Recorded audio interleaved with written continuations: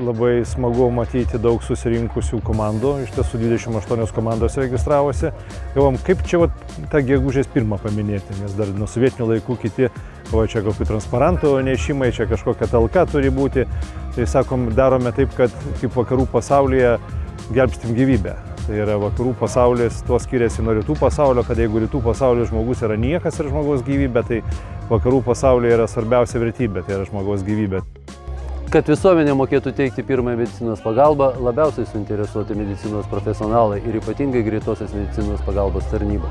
Todėl, kad nuo to, kaip elgesi šalia esantis e, ir padeda nukentėjusiam, labai dažnai priklauso, kaip išsispręs situacija.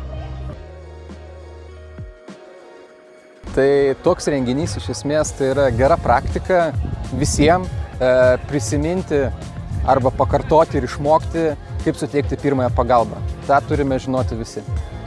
Turi mokėti susiteikti pirmąją pagalbą savo ir kitam. Ir matom, kad pasaulis kraustosi iš proto. Ir tikrai matom, tokie įgūdžiai yra labai svarbus ir, ir pravartus kiekvienam piliečiui.